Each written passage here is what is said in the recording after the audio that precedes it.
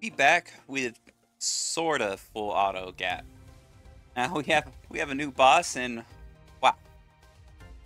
Just wow. Since this is the first time the boss has appeared, you can get the min score by doing normal. It's only 4k. Normally I do do a full auto team with budget units and then an invested, but sadly this time my budget team is semi-auto. But my vested team is completely autoable. So, without further ado, let's go ahead and check it out. Alright, so we get our boy Jake on the field here.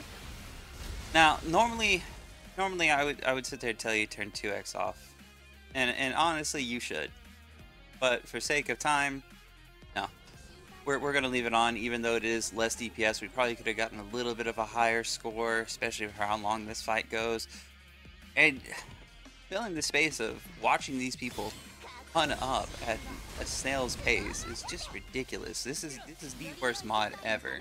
Like, why? Why did they give us this mod? Anyways, we got we got Eve. Now Eve Eve Eve isn't necessary because of the boss's special. She actually counters the special, which is great. Now, if you don't have Eve, you can use Jushiun. Ray could also do it as well, but Ray doesn't do any DPS, so Jushiun is probably your best bet to use. He won't do as much as Eve, but he'll, he'll do more than Ray. After that, we're going to get Seal to sit there and start our proc for Vivian because our, our timer runs out, actually. And then we get Gurion and... I want to call her Dash for some reason. Wow, I'm actually blanking on her name. But it doesn't matter. We get our second sniper to proc our Vivian, giving us crit damage and attack speed. And which that that attack speed actually does help out with keeping the stuns on the boss. As we sit there and see Jake is sitting there doing a pretty good job of keeping those shields off.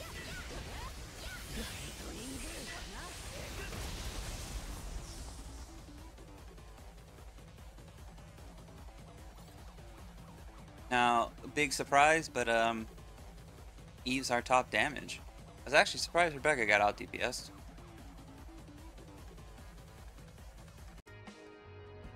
Mons I'm using for this team, we're going minus 50% attack, minus 50% HP, minus 40% A speed, minus 40% skill haste. We don't touch the boss's HP.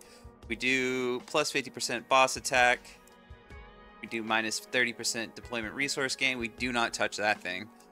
And then we give the boss his special requirement, which since we're not running mechs, that's just basically free points. So for gear here, we're, well, not just gear, but the ship here, we're running New Detroit. We're running Vivian as our operator.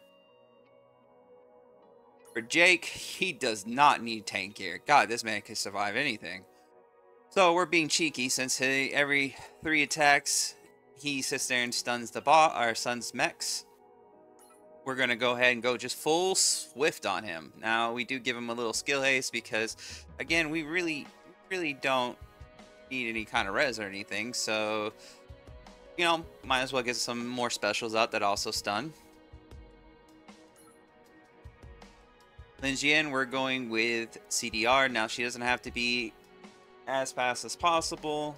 76 should do just fine. I have a little extra at 77 here. Eve, we're going to sit here and throw our best anti-supporter. Imagine having that kind of gear and attack with anti-ground damage. Now, granted, you can sit here and use volcano gear as you see here. You could do attack attack.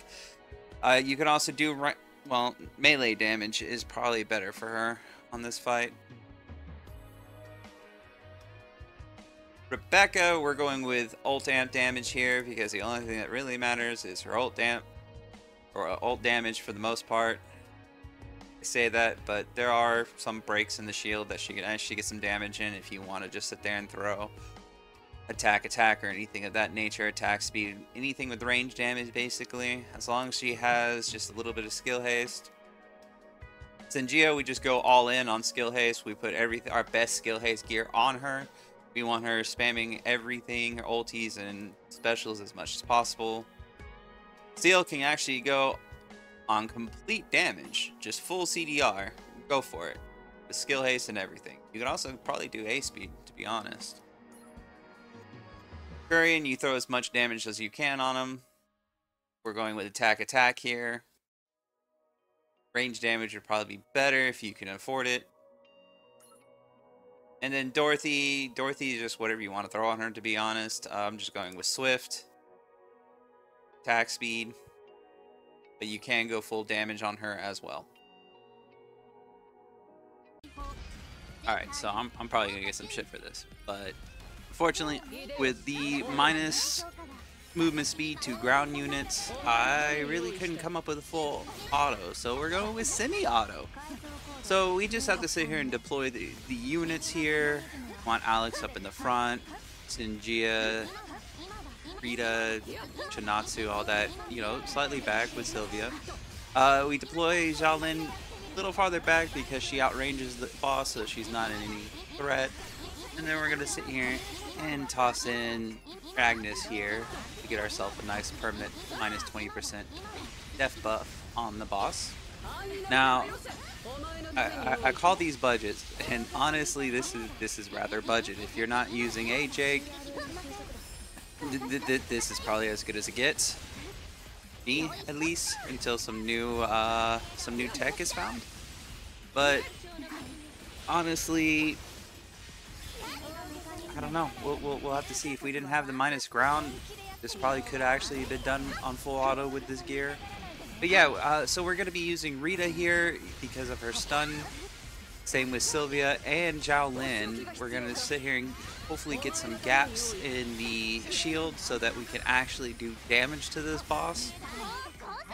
Which is proving to be, you know, problematic. And also, probably the other reason why this boss is so difficult. That shield is ridiculous. Like, how, how are free to play actually supposed to sit here and fight this? There aren't there are like very few units that actually stun the boss that are free to play. Like I had to I had to pull Rita, you know, dust the you know dust Rita off, pull her out of like the, the the waiting box just to sit here and use her for this boss here, just because she actually has a stun on her passive every time every three auto attacks. So uh, uh, this is fun. But luckily we get the boss down with enough uh, permanent death breaks. We're, we're, we're counting uh, Dash as a permanent death break because she can actually keep her death break up 100% uh, on the boss, which is actually pretty nice. And along with Quad, we actually get enough damage that we can we can get 9k, but we don't need 9k, we only need 4k, so take it for what you will. Now, I already had a suspicion that Rita was going to, or actually 10k, I thought it was 9, that Rita was going to be uh, top damage, but I was really surprised about Agnes being top. Well.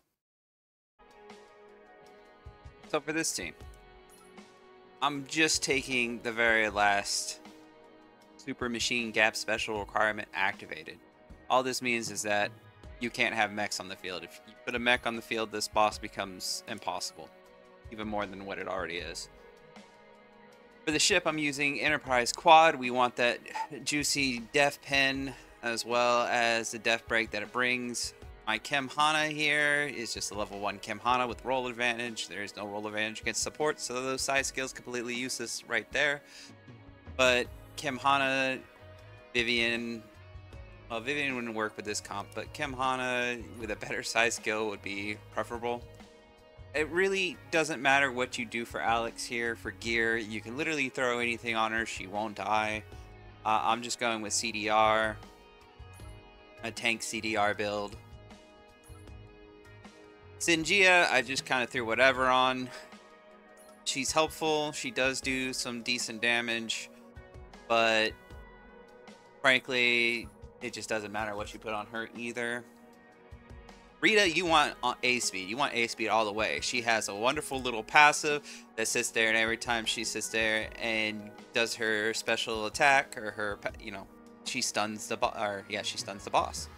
So you want to sit there and take advantage of that. Put as much A speed on her with as much range damage latents, uh, ground damage as you could possibly fit.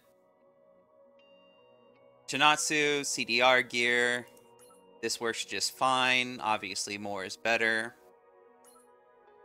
Xiaolin, interestingly enough, I went with CDR because she can actually stun mechs with her her special. Now this is only for Kestrel, the rearmed version. So we're going with 76% skill haste to make her as much of a stun bot as we can. And we have our other stun bot. Now as you can see, I actually have tank gear. She has absolutely no defense. She is paper thin. This boss hurts her way too much. I went with ground res on her, range damage res, and then gave her as much skill haste as I can. Agnes, you can just throw any A speed on. You'll notice that this is an anti-defender set A speed, yet she actually was second on the DPS. So obviously range damage would be better on her as well. Cash, you can basically throw whatever on, uh, as long as you don't take A-speed mods. If you take A-speed mods, you need to actually sit there and give her A-speed to compensate.